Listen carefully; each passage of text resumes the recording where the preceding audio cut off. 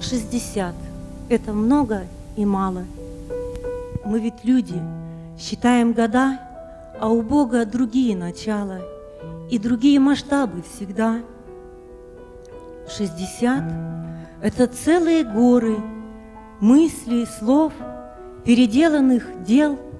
60 – это капелька в море, если вечность дается в удел – нам не нужно жалеть совершенно о количестве прожитых лет.